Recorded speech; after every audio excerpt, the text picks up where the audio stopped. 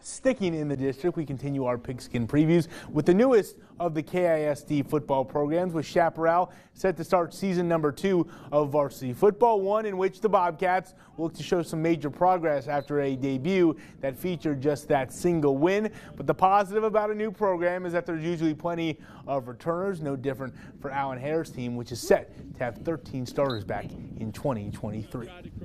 Just being familiar with them uh, was was a whole whole lot more comforting uh, rather than starting off like it was. Like, you know, I tell people it's like kind of like an all star game where people just show up. Okay, we'll try to go run some plays, but we don't know what you can do yet, and so a lot of more connectivity for sure.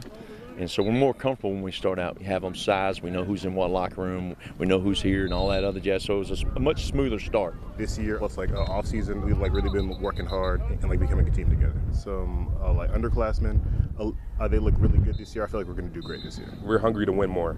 Like we won one game last year, and we know that the feeling of winning. So we want to improve. Like we want to feel that again.